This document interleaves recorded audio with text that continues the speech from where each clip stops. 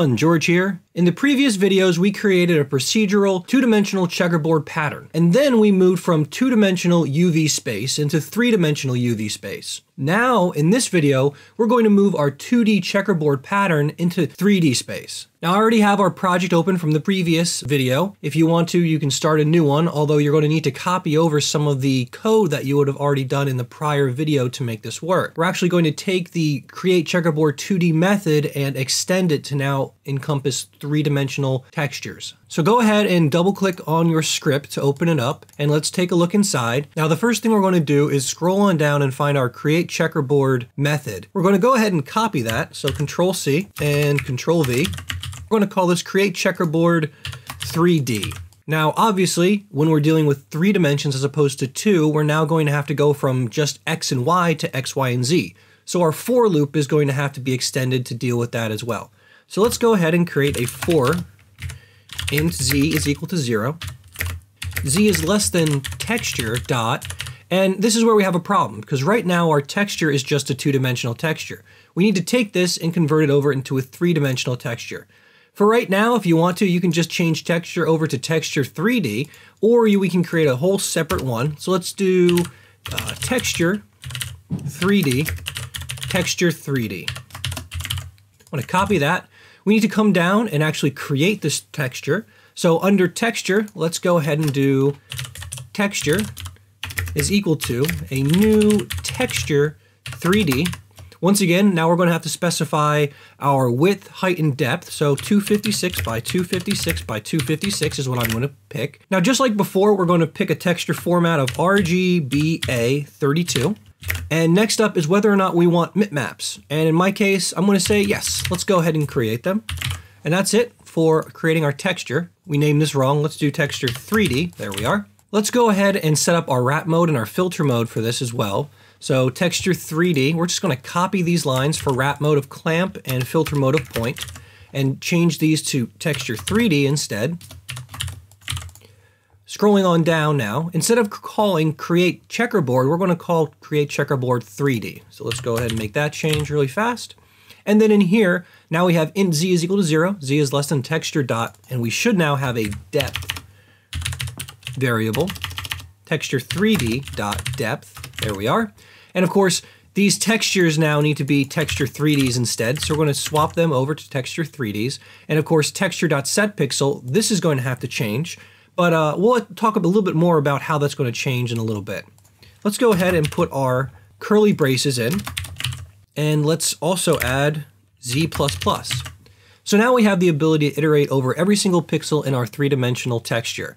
But we do need to change how we evaluate the, the, checkerboard pixel. It's not going to be the same as what we had here. If we actually do this, we're not going to get anything different than the standard checkerboard and the Z value won't be changing or varying in any way. So let's go ahead and take our color evaluate checkerboard pixel function and duplicate that. And instead it's evaluate checkerboard 3D pixel.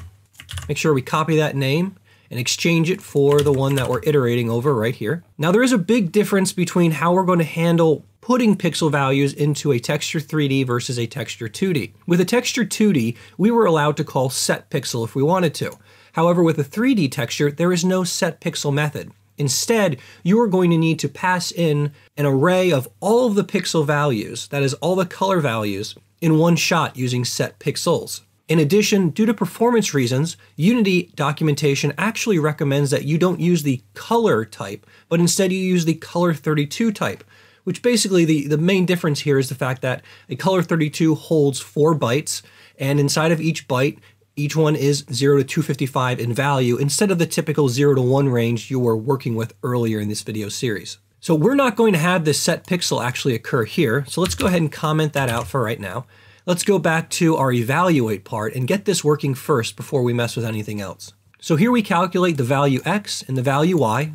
Once again, we're going to do the exact same thing again, except it's going to be for z. So float value z instead. So anywhere there's a y, switch it with a z value. There we are, there we are, and z, and z, and z. Perfect. This method has to be updated to also include passing in the z value. And Inside of the loop, we also need to pass in the z value as well.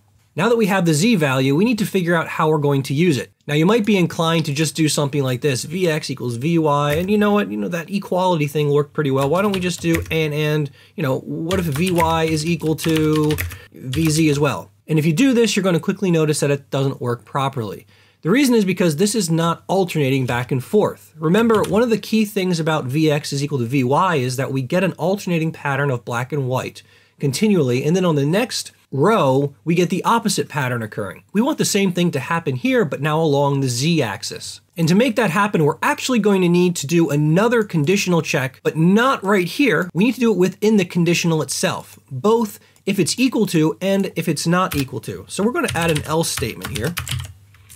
And what we're going to do is we're going to check to see whether or not vz is equal to whatever value we want it to be opposite of. So if our value here is 0 right now. And if Vx is equal to Vy, okay, that's fine. Now what I want to do is check to see if Vz is equal to 1 in this case, the opposite value that you have here. And if that is true, then what I'm going to do is set v, the value equal to 1. I want to do the opposite check down here. So if we end up to the, with this else statement, we're an alternate one. So I'm going to do a if vz is equal to 0 in this case, value is going to be equal to 1. So hopefully you kind of see what's going on here. If they're equal, that's great, okay. Now if vz is equal to 1 in this case, we're going to swap that value over so it goes from a 0 to a 1. And in this case, if vz is equal to 0, we're going to swap it over to a 1 right here. Now there is one issue. If you remember, I said we need to work with color 32s instead of colors. In addition, color 32s work with byte values, not with float values. So let's make a few changes. The first one is the fact that float value needs to be turned to byte value instead. And our range is from 0 to 255, where 0 is black and 255 is white. So let's go ahead and make some changes. So this should be 255, and this should also be 255. Now we come down here and we re return a new color. However, this needs to be a color 32. And we, once again, just place our values in there. And the last one can't be a float. It also needs to be 255, indicating a fully opaque object. All right, now that we have evaluated the 3D pixel, let's go back up where we iterate over all of these and figure out what we're going to do with it. Now, like I mentioned, we don't have set pixel anymore. Instead, we have set pixels, and that expects an array of information that comes in with every single color value that we're actually working with. So now we can't just index into XYZ, we actually need to come up with a one-dimensional index for a three-dimensional texture. So first, let's just create that color array. So we're gonna do color 32 colors is equal to a new colors, and we're gonna take the texture uh, 3D dot width. We're going to multiply that by texture 3D dot height, and then we're going to multiply that finally by texture 3D dot depth. And that will be the correct size for every single element that we need to store inside of this object. And once again, that's not color space, that's color 32. And again, this is returning to us a color 32 as well, so make sure you change that type over. And now we need to figure out in this one-dimensional array where we stick this value. So what we have is our z value, our y value, and our x value. And if we think about this for a second, when x is equal to 0, we're going to iterate over 0, 1, 2, 3, 4, 5, all the way up to 9, and then we roll over and then the y increases by 1. Now, how many values further in a one-dimensional array are we? Well, we're y times the width of that into it, plus whatever x value we happen to be on. And then the same thing happens for z again. So let's create our index. So int current index is going to be equal to our x value, whatever we are in the x, plus texture 3D dot width. Now this is going to be times our y value, and then we're also going to say our texture 3D dot width times our texture 3D dot height times our z value is how far in then we are in the z part. So we can get rid of this line right here. And right before apply, we're going to do texture 3D dot set pixels, and that's set pixels 32. And we're going to pass in our color array, so just type in colors. And that's it.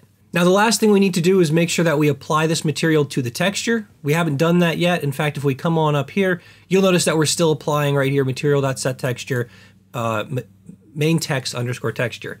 And really, since we're kind of having two different ways to make this work, I should take this line and stick it inside of the standard create checkerboard area. So we're going to set it there at the end of create checkerboard, and we're going to do the same thing in create checkerboard 3D. So we'll do material dot set texture, and it's going to be the main text again, and we're going to pass in our texture 3D. Perfect. Okay, now you're probably thinking, okay, great. We made a checkerboard texture that's three dimensional. We passed in all the values. We've applied it. Actually, we did make one mistake. This needs to be texture 3D. There we go. It should work just fine, right? Well, let's go over and take a look at what just fine actually means. I want to hit run. And what you're going to notice after you run this is here, error assigning 3D texture to 2D texture property underscore main text. Dimensions must match. So what does this mean? Well, what kind of shader are we using? We're using the default shader, and that shader is a standard shader. And if we go over to the gear and select select shader, what you're going to notice is that main text is actually of type 2D. We're not working with 2D textures anymore. This needs to be of type 3D. So let's take a look really quick. I'm going to click on Assets, right-click Create, and let's go to Shader, Surface Shader, and let's call this uh, Checkerboard 3D, or actually let's just call this um, Texture 3D. And let's double click this really quick and take a look inside. And what we're going to notice here are a few things. One, our main text has been declared as a 2D. So you might be thinking, okay, why don't we just change that to 3D? Oh, but here's the problem. We're using a standard shader, which means there's a lot of work being done by Unity in the foreground and the background, and we get this little spot in here for our surface shader to set stuff up. Because this shader isn't a fully custom shader with a vertex and a fragment section that we create ourselves, we're relying on whatever Unity has put together for us. And one of those things is the input structure right here there's only a set number of inputs that we're allowed to actually pass in. And unfortunately, none of those inputs are of type float 3 for our UV coordinates. Therefore, we're going to stop right here, and in the next video, I'm going to show you how to write your own shader, both the vertex and fragment parts, that are going to allow you to render out this three-dimensional texture. So anyway, I know we kind of left on a cliffhanger there, but I hope you learned something new, and I'll see you next time. So long, everyone, and goodbye.